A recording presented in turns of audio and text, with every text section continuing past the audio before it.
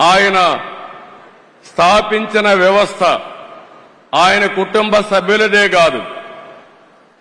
పది కోట్ల తెలుగు ప్రజానికనది ఆయన ప్రజల ఆస్తి. అలాంటి ఆయన స్థాపించిన వ్యవస్థల్ని భావితరాలకు అందించే బాధ్యత వారు తీసుకుంటే మనందరం కలిసి ఆయన స్ఫూర్తి ఎల్లప్పుడూ తెలుగు జాతిలో ఉండే విధంగా మనం ఆలోచించాల్సిన అవసరం ఉంది. ఎన్టీ రామారావు గారికి కూడా భారత రత్న ఇవ్వాలని చెప్పి మనం ఎప్పటి నుంచో పోరాడుతున్నాం. అదే సమయంలో రామోజీరావు గారికి కూడా భారత రత్న సాధించడం మనందరి బాధ్యత. ఒక పక్క ఎన్టీ రామారావు గారు ఒక పక్క రామోజీరావు గారు. ఇద్దరికి ఇద్దరే అలాంటి మహానాయ మహానాయకులకి యుగ పురుషులకి మనం నివాళులర్పించడం అంటే ఇలాంటి కార్యక్రమంలో భాగస్వాములు కావడమేనని చెప్పి నేను మీకు తెలియజేస్తున్నాను.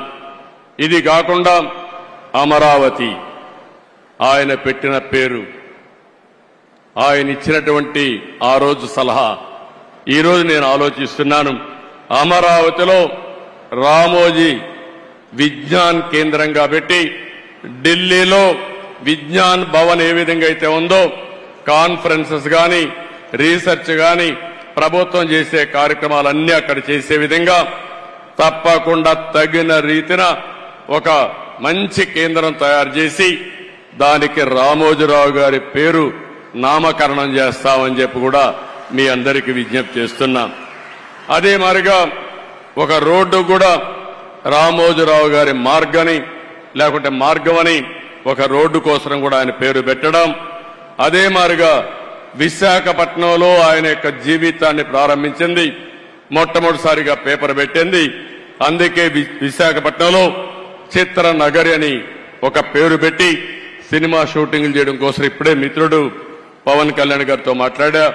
అక్కడ కూడా చిత్ర నగరని రామోజీరావు గారి పేరుతోనే పెడతాం.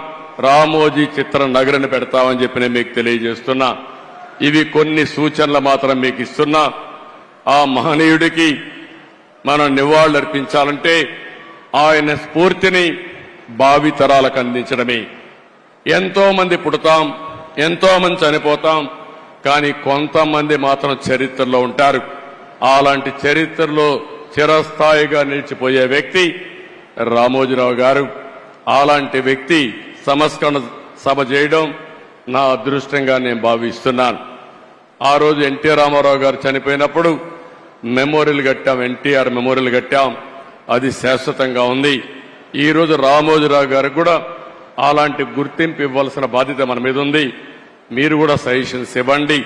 తొందరలోనే వారి కుటుంబ సభ్యులతో కూడా మాట్లాడి ఆయనకు తగిన విధంగా గుర్తింపు ఉండే విధంగా ప్రజలు గుర్తుండే విధంగా చేస్తారని చెప్పి తెలియజేసుకుంటూ కుటుంబ సభ్యులందరికీ ప్రగాఢ సానుభూతి తెలియజేస్తూ వారు ధైర్యంగా ముందుకు పోయి లెగసీ కంటిన్యూ చేయాలని చెప్పి కోరుకుంటూ ఇంకొక పక్క ఆయన ఆత్మకు శాంతి కలగాలని భగవంతుని మరొక్కసారి ప్రార్థిస్తూ అందరికీ నమస్కారాలు. జై హింద్.